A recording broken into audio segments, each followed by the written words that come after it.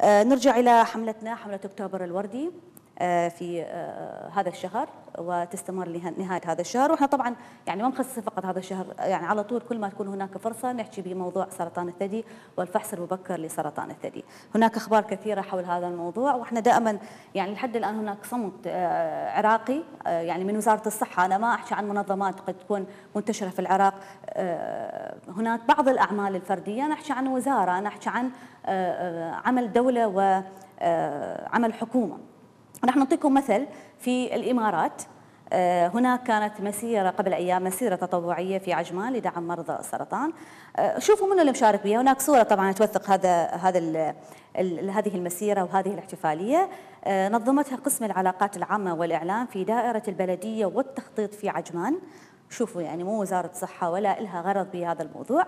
آه، نظمت هذه المسيرة التطوعية على كورنيش الإمارة آه، دعما لحملة أكتوبر الوردي للتوعية بمخاطر مرض سرطان الثدي. آه، شوفوا من اللي شارك بهذه المسيرة؟ فرقة موسيقية فرقة موسيقية تابعة للقوات المسلحة. متواجد على كورنيش عجمان بجانب السائحين من مختلف الجنسيات. يعني شوفوا الناس منطقة اهتمام كبير اهتمام من قبل كل من يعني إحنا عتبنا على وزارة الصحة أبسط شيء آه، نتمنى من المسؤولين اللي يطلون علينا يوميا على عبر الشاشات كلمة صغيرة فقط لمرضى السرطان. آه، خاصة إحنا عندنا بالعراق أعداد كبيرة. آه، من النساء عندنا إحنا نائبات وعندنا مسؤولات عراقيات ولا وحده تقدر تطلع تصرح وتحكي بهذا الموضوع.